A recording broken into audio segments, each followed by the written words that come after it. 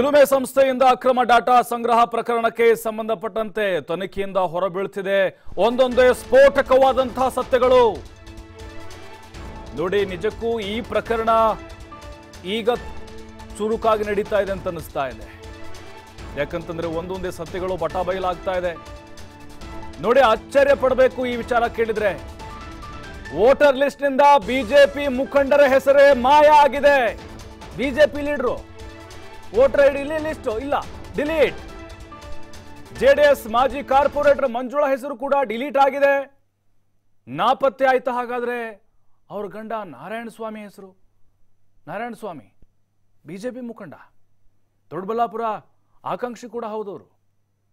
ಪತಿ ಪತ್ನಿ ಇಬ್ಬರು ಕೂಡ ಆರ್ ಆರ್ ನಗರ ಕ್ಷೇತ್ರದ ಮತದಾರರು. ಅವರು ಜೆ ಡಿ ಎಸ್ಸು ಇವರು ಬಿಜೆಪಿ. ಬಿಜೆಪಿ ನಾಯಕನ ಹೆಸರೇ ಮಾಯ ಆಯ್ತಾ? ಯಾಕೆ ಹಾಗಾದ್ರೆ? ಆರ್ ಆರ್ ನಗರದಲ್ಲಿ ವೋಟರ್ಸ್ ಹೆಸರು ಡಿಲೀಟ್ ಮಾಡಿದ ಬಗ್ಗೆ ಆರೋಪ ಮೊದಲೇ ಇತ್ತು.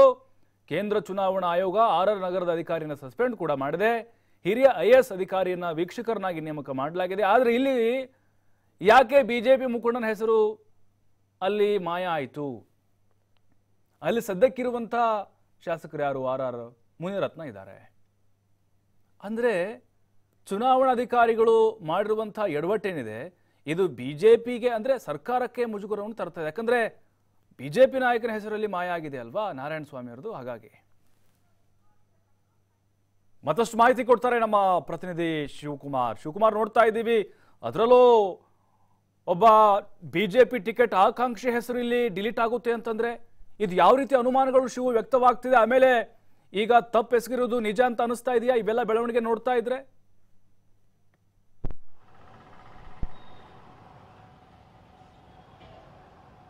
ಪ್ರಭು, ಈಗಾಗಲೇ ಚಿಲುಮೆ ಸಂಸ್ಥೆಯ ಅಕ್ರಮ ಡಾಟಾ ಸಂಗ್ರಹ ಪ್ರಕರಣದಲ್ಲಿ ಈಗಾಗಲೇ ಮೇಲ್ನೋಟಕ್ಕೆ ತಪ್ಪು ಆಗಿದೆ ಅನ್ನುವಂಥದ್ದು ಬಹಳ ಪ್ರಬಲವಾಗಿ ಕೇಳಿಬರ್ತಾ ಇದೆ. ಯಾಕೆಂದರೆ ಒಂದು ಕಡೆ ರಾಜ್ಯದ ಪೊಲೀಸರು ಕೂಡ ತನಿಖೆಯನ್ನು ಮಾಡ್ತಾ ಇದ್ದಾರೆ, ಮತ್ತೊಂದು ಕಡೆ ಕೇಂದ್ರ ಚುನಾವಣಾ ಆಯೋಗಕ್ಕೆ ಕಾಂಗ್ರೆಸ್ ನಾಯಕರು ದೂರನ್ನ ಸಲ್ಲಿಸಿದ್ರು ರಾಜ್ಯ ಚುನಾವಣಾ ಆಯೋಗಕ್ಕೆ ಕಾಂಗ್ರೆಸ್, ಜೆಡಿಎಸ್ ಹಾಗೆ ಎಪಿ ಪಕ್ಷದ ನಾಯಕರು ಕೂಡ ದೂರನ್ನ ಸಲ್ಲಿಸಿದ್ರು ಪ್ರಕರಣ ಬಹಳ ಗಂಭೀರವಾಗಿರೋದ್ರಿಂದ ಕೇಂದ್ರ ಚುನಾವಣಾ ಆಯೋಗ ಮಧ್ಯಪ್ರವೇಶವನ್ನ ಮಾಡಿತ್ತು.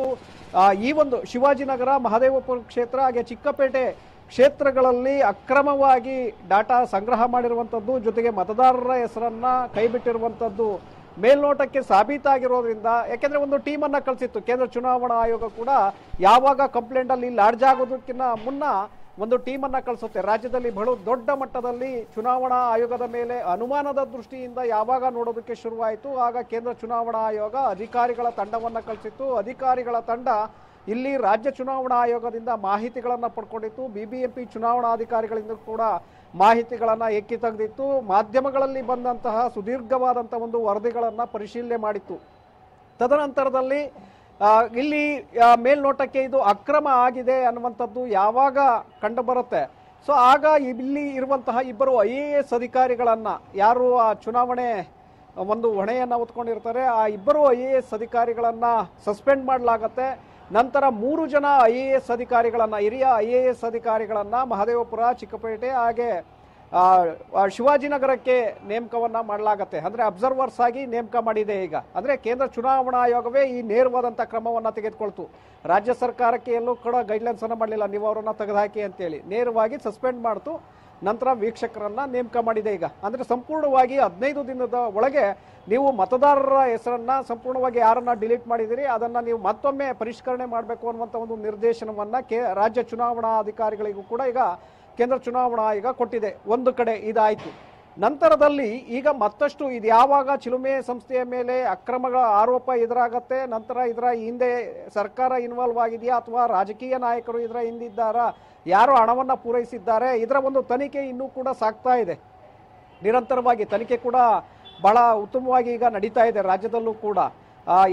ಸಂಸ್ಥೆಗೆ ಸಂಬಂಧಪಟ್ಟಂತಹ ಯಾರಿದ್ದಾರೆ ಅವ್ರನ್ನೆಲ್ಲರೂ ಕೂಡ ವಶಕ್ಕೆ ಪಡ್ಕೊಳ್ಳಲಾಗಿದೆ, ವಿಚಾರಣೆಯನ್ನು ಮಾಡಲಾಗ್ತಾ ಇದೆ. ಆದರೆ ಸಚಿ, ಸಚಿವರ ಒಂದು ಲೆಟರ್ ಹೆಡ್ಗಳು ಹಾಗೆ ಚೆಕ್ ಬುಕ್ಗಳು ಸಿಕ್ಕಿತ್ತು, ಅದನ್ನು ಇನ್ನೂ ಕೂಡ ಅದರ ಬಗ್ಗೆ ಗಂಭೀರವಾಗಿ ಕ್ರಮವನ್ನು ತೆಗೆದುಕೊಂಡಂತೆ ಕಾಣಿಸ್ತಾ ಇಲ್ಲ. ಪೊಲೀಸರು ಕೂಡ ಯಾವ ರೀತಿಯಾಗಿ ಅವ್ರನ್ನ ಮುಟ್ಟೋದು, ಹೇಗೆ ಅನ್ನುವಂಥದ್ದೇನಾದರೂ ಯೋಚನೆ ಮಾಡ್ತಾ ಇರ್ಬೋದೇನೋ. ಆದರೆ ನಾವು ಇಲ್ಲಿ ಗಮನಿಸಬೇಕಾಗಿರುವಂಥದ್ದು ಈಗಷ್ಟೇ ಆರೋಪಗಳು ಎದುರಾಗ್ತಾ ಇರುವಂಥದ್ದು ಈ ಒಂದು ಡಾಟಾ ಅಕ್ರಮ ಸಂಗ್ರಹ ಪ್ರಕರಣ ಮತ್ತೆ ಡಿಲೀಟ್ ಅನ್ನ ಮಾಡಲಾಗಿದೆ. ಕೆಲವರು ಹೆಸರನ್ನು ಕೈ ಬಿಡಲಾಗಿದೆ ಅನ್ನುವಂತಹ ಆರೋಪಗಳು ಬರ್ತಾ ಇತ್ತಲ್ಲ. ಇದರಲ್ಲಿ ಪ್ರಮುಖವಾಗಿ ಬಿಜೆಪಿ ಮುಖಂಡರ ಒಂದು ಹೆಸರುಗಳನ್ನೇ ಡಿಲೀಟ್ ಮಾಡಿರುವಂಥ ಒಂದು ವಿಚಾರ ಕೂಡ ಈಗಾಗಲೇ ಸೋಷಿಯಲ್ ಮೀಡಿಯಾಗಳಲ್ಲಿ ಹರಿದಾಡ್ತಾ ಇದೆ. ಆರ್ ಆರ್ ನಗರ ವಿಧಾನಸಭಾ ಕ್ಷೇತ್ರಕ್ಕೆ ಸಂಬಂಧಪಟ್ಟಂತೆ ಪ್ರಸ್ತುತ ಹಿಂದೆ ಜೆ ಡಿ ಎಸ್ನಿಂದ ಕಾರ್ಪೊರೇಟರ್ ಆಗಿದ್ದರು ಸ್ಥಳೀಯ ಬಿ ಬಿ ಎಂ ಪಿಯಲ್ಲಿ ಸ್ಥಳೀಯ ಸ್ಥಾಯಿ ಸಮಿತಿಯ ಅಧ್ಯಕ್ಷರು ಕೂಡ ಆಗಿದ್ರು. ಮಂಜುಳಾ ನಾರಾಯಣ ಸ್ವಾಮಿ ಅವರು. ಡಿಲೀಟ್ ಮಾಡಲಾಗಿದೆ. ನಂತರ ಜೆ ಡಿ ಎಸ್ ಪಕ್ಷದಲ್ಲೇ ಇದ್ದಂಥವರು ನಾರಾಯಣಸ್ವಾಮಿ ಅವರು. ಅವರಿಬ್ಬರೂ ಕೂಡ ಏನು ಆ ಕ್ಷೇತ್ರದ ಶಾಸಕರು ಪದೇ ಪದೇ ಕಿರಿಕಿರಿ ಮಾಡ್ತಾ ಇದ್ರು ಅಂತೇಳಿ ಬಹಳಷ್ಟು ಆರೋಪಗಳನ್ನು ಮಾಡ್ತಾ ಇದ್ರು. ದೇವೇಗೌಡರ ದೇವೇಗೌಡರಿಗೆ ಪದೇ ಪದೇ ಕಂಪ್ಲೇಂಟ್ಗಳನ್ನು ಮಾಡ್ತಾ ಇದ್ರು. ಕುಮಾರಸ್ವಾಮಿ ಅವರು ಕೂಡ ಹಿಂದೆ ಮೈತ್ರಿ ಸರ್ಕಾರ ಇದ್ದಂಥ ಸಂದರ್ಭದಲ್ಲಿ ದೂರುಗಳನ್ನು ಕೊಡ್ತಾ ಇದ್ರು. ಇಬ್ಬರು ಕೂಡ ಪತಿ ಪತ್ನಿ. ಸೊ ತದನಂತರದಲ್ಲಿ ಅವರು ಬಿ ಜೆ ಪಿ ಪಕ್ಷಕ್ಕೆ ಬರ್ತಾರೆ. ಬಿ ಜೆ ಪಿ ಪಕ್ಷದ ಮುಖಂಡರಾಗಿದ್ದಾರೆ ಇಬ್ಬರು ಕೂಡ ಈಗ. ಪತಿ ಮತ್ತೆ ಪತ್ನಿ ಇಬ್ಬರೂ ಕೂಡ. ಇವರು ಮಾಜಿ ಪಾಲಿಕೆ ಸದಸ್ಯರು ಜೊತೆಗೆ ಈ ಬಾರಿ ಬಿ ಬಿ ಎಂ ಪಿ ಚುನಾವಣೆಗೆ ನಿಲ್ಲೋದಕ್ಕೂ ಕೂಡ ಈಗಾಗಲೇ ತಯಾರಿಯನ್ನು ಮಾಡ್ತಾ ಇದ್ದಾರೆ, ಮಂಜುಳಾ ನಾರಾಯಣ ಸ್ವಾಮಿ ಅವರು.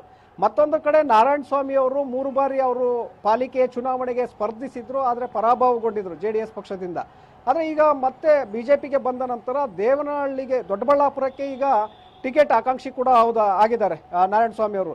ದೊಡ್ಡಬಳ್ಳಾಪುರದಲ್ಲಿ ಈಗಾಗಲೇ ಕೆಲಸ, ಕೆಲಸಗಳನ್ನು ಮಾಡ್ತಾ ಇದ್ದಾರೆ, ಕಾರ್ಯಕರ್ತರ ಸಭೆಗಳನ್ನು ಮಾಡ್ತಾ ಇದ್ದಾರೆ, ಅಲ್ಲಿ ಪಕ್ಷವನ್ನು ಕೂಡ ಸಂಘಟನೆ ಮಾಡ್ತಾ ಇದ್ದಾರೆ ನಾರಾಯಣ ಸ್ವಾಮಿ ನನಗೆ ಟಿಕೆಟ್ ಸಿಗಬಹುದು ಅನ್ನುವಂಥ ನಿಟ್ಟಿನಲ್ಲಿ.